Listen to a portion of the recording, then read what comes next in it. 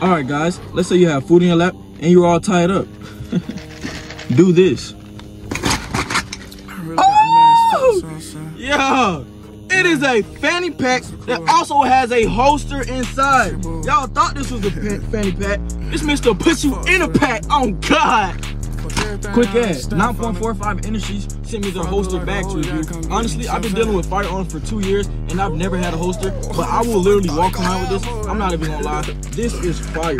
I've never seen a bag to where it puts a holstered gun in it. Like, look at this, y'all.